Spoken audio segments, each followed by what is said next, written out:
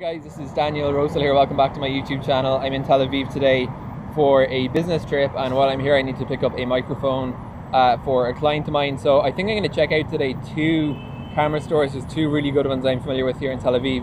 One of them is called Erlich, just a few minutes from where I'm sitting here, and the second is called Yugend. It's a bit more kind of pro level. So I'm going to be checking those places out because I am planning to upgrade my setup uh, sometime hopefully in the summer to a prosumer camcorder. I'm a huge fan of camcorders. I'm actually a really big fan of the pocket gimbals, gimbals as well. Uh, but if the stores are okay with it, I'm going to take a little bit of footage there and uh, show you guys their showrooms.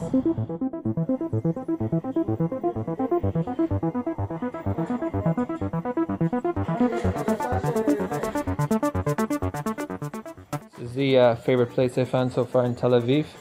This place is called Erlich. They're everywhere on Facebook, Instagram, YouTube. And they have a really nice selection here. You can see they have the full range of zoom field recorders, and microphones, light gear, camera monitors, cases, backpacks, sound, really everything. What I really like about this place is when I was looking for a shotgun mic for my Vixia, it was really hard to find one that was compatible with the camera.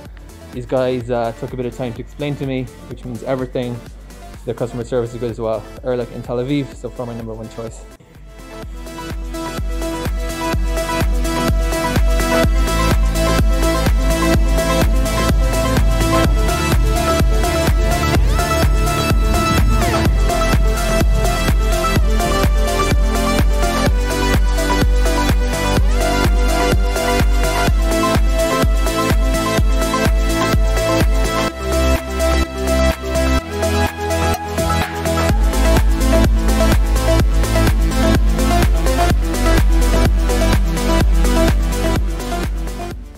This is Yugend in Tel Aviv. I would say this is a little bit more like the, the equivalent of B&H. It's just off Salamon Street.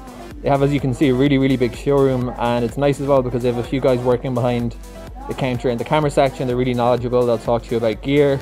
Um, again, like in Erlich, these guys have everything ranging from cables through to tripods, through to really nice bags for drones and camera gear, etc. And uh, this is a really good place as well if you're looking to pick up uh, camera gear, probably where I'm going to buy my prosumer camcorder upgrade in the summer.